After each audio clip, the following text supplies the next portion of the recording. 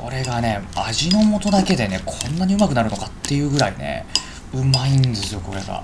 ずっと食べれるんですよこれ。どうも料理のりさんりゅうじです。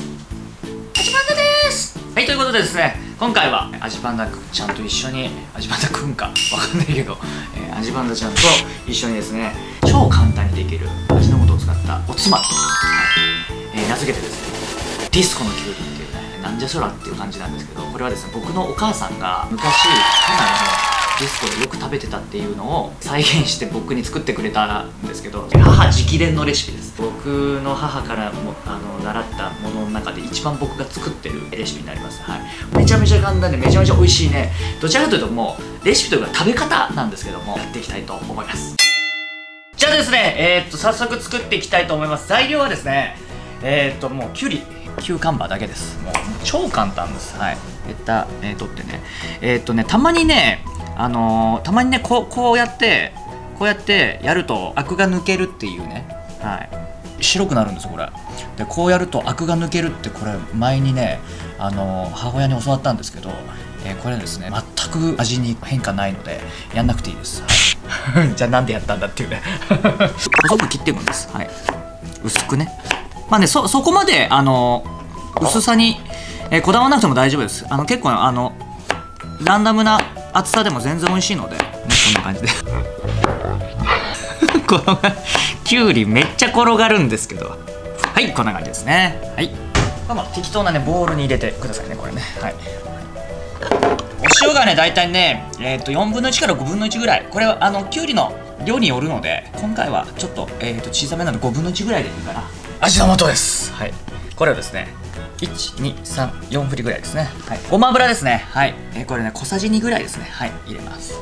でもねこのままね開いてくるんですね。はい。でお塩とかはね好みで、えーと、増減させてください。これがね味の素だけでねこんなにうまくなるのかっていうぐらいねうまいんですよこれが。ずっと食べれるんですよこれ。で味見をしますもうちょいってもいいかな。はい。でよくあえてねもうで完成。完成です。はい。うまいね。うまい。きゅうりのレシピで一番好きかもしれない。ディスコ風に。ちなみに僕の、えー、父と母はディスコで出会ったらしいですね、はい、全然料理料理関係ない話題ですいません。そうやって作ると感慨深いですねこの料理ね。ディスコのきゅうりの完成です。食べていきたいと思います。あきくら食べていきます。はい。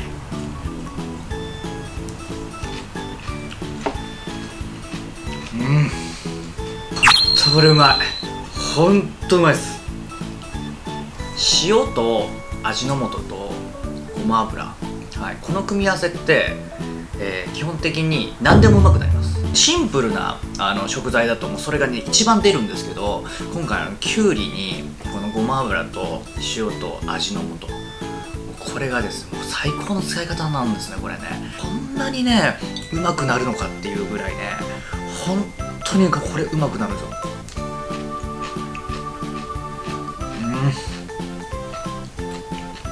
とこれでいい。うん。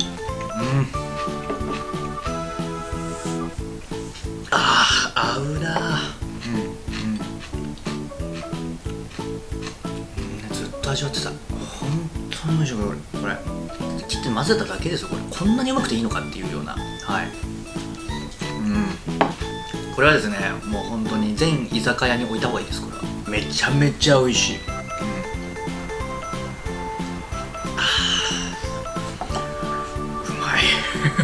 本当にもう今すぐ使えます。はい。きゅうりと味の素さえあればもう今からできるんでぜひ試してみてください。